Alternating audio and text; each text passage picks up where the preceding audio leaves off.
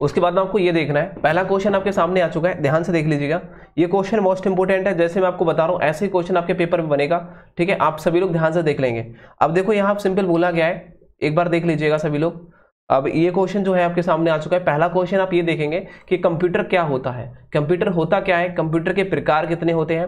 और कंप्यूटर की सीमाएँ, कंप्यूटर की भाषा, जो जावा लैंग्वेज वगैरह होती है, उसको देखेंगे। सीपीयू तो आप जानते हैं। सीपीयू क्या होती है? मेमोरी क्या है? सीपीयू क्या होता है? मेमोरी क्या होती है? इनकी परिभाषा आपको देखनी पड़ेगी, क्योंकि आपको इंट्रोडक्शन आपको बेसिक पूछा जाता है कंप्यूटर के बारे में कि कंप्यूटर एप्लीकेशन क्या है, ये सॉफ्टवेयर क्या है हार्डवेयर क्या है। इस तरीके से क्वेश्चन बनते हैं। ये सब लोग आप जानते हैं कि कंप्यूटर क्या होता है, उनके घटक क्या होते हैं कंप्यूटर के आप याद करेंगे। दूसरा है व्यवसायिक में कंप्यूटर का अनुपयोग मतलब जो हम व्यवसाय करते हैं बिज़नेस करते हैं, उसमें कंप्यूटर के क्या क्या उपयोग होते हैं, उस उपयोग के बारे में एक्सप्लेन करेंगे। हार्डवेयर एंड सॉफ्टवेयर आप जानते हैं? हार्डवेयर क्या होता है सॉफ्टवेयर क्या होता है? सॉफ्टवेयर से छू नहीं सकते हार्डवेयर जैसे छू सकते हैं। ठीक है ना? वही हम छू के स्पर्श कर सकते हैं। वो चीज़ में देखना होता है। अब क्या होता है? डिस्क जिसे बोलते हैं ना डिस्क ऑपरेटिंग सिस्टम जिसे हम डीओएस बोलते हैं। डीओएस मोस्ट इंपोर्टेंट है, आप इसको एक बार पढ़ के जाइएगा। इसके कार्य क्या होते हैं? विंडो तो आप जानते होंगे विंडो टेन हो गया विंडो एक्सपी हो गया विंडो सेवन हो गया विंडो एट हो गया विंडो नाइन हो गया, ये तो क्या है?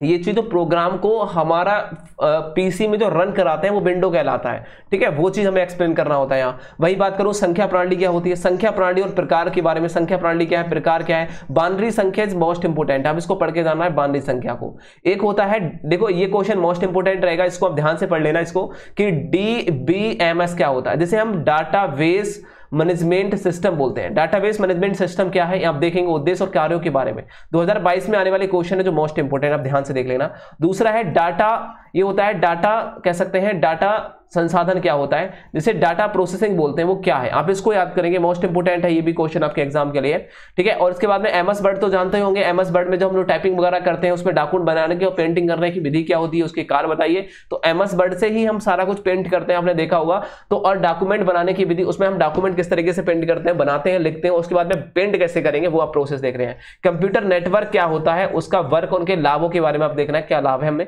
कंप्यूटर के आगत और निर्गत मतलब कि इनपुट और आउटपुट उपकरण कौन कौन से होता है? इनपुट और आउटपुट ये देखेंगे हम लोग, ठीक है? इनपुट और आउटपुट जो होता है, वही देखेंगे, ठीक है? यूनिट के बारे में। उसके बाद कंप्यूटर का विकास चरण, ये मोस्ट इंपोर्टेंट है। ये कई बार यूनिवर्सिटी में पूछा जा चुका है। अभी जो हाल ही में जो कह सकते हैं, राम मनोहर लोहिया यूनिवर्सिटी का पेपर हुआ था कंप्यूटर का, उसका पूरा क्वेश्चन बना था कंप्यूटर का विकास चरण कैसा है ये? कंप्यूटर के मूलभूत सिद्धांत के बारे में और सभी लोगों से कहना चाहेंगे कि पेपर को, जैसे ही आपका पेपर होता है seven zero three seven three two seven eight three eight और इस पर आप हमें तुरंत व्हाट्सअप मैसेज कर देंगे और इस पर हमें सेंड करेंगे, ठीक है? यहाँ बोला गया है कि वायरस संक्रमण क्या है? वायरस संक्रमण होता क्या है? आप इसको देखेंगे, ठीक है? और वायरस संक्रमण को देखने के बाद में हम ये देखेंगे कि डाटा और इन्फॉर्मेशन में अंतर क्या होता है। डाटा और इन्फॉर्मेशन में अंतर क्या होता है? दोनों में अंतर देख लेना है और शब्द संसाधन और क्रियाओं का कार्य बता देना है, ठीक है? ये आप देखेंगे और यहाँ कह रहा है लोकल एरिया नेटवर्क क्या होता है? जिसे हम एल ए डब्ल्यू बोलते हैं और डब्ल्यू ए एन जिसे हम कह सकते हैं विड एरिया नेटवर्क बोलते हैं। तो इन दोनों के गुण दोषों के बारे में आपसे पूछ लेता है। ये थे दो हज़ार बाईस में आने वाले क्वेश्चन इसके अलावा आपको कुछ और नहीं नहीं पढ़ना है।